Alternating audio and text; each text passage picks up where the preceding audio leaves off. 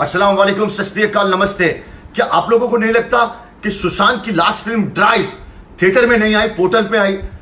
तो हम सब मिलके फाइट करके उसकी दिल बेचारा फ़िल्म को थिएटर में लाएँगे और सुपर हिट करेंगे। मिलके फाइट करके उसकी दिल बेचारा फ़िल्म को थिएटर में लाएँगे और सुपर हिट करेंगे।